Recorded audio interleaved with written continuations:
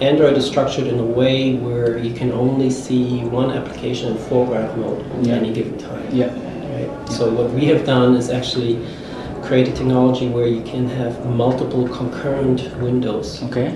um, at the same time, right? So mu- multiple concurrent applications.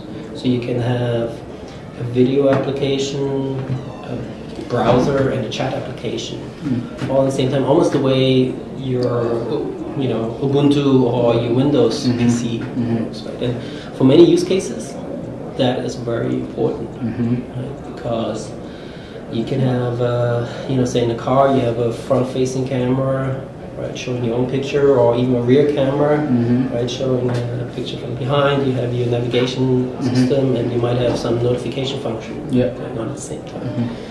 So uh, we have that's another solution accelerator that works.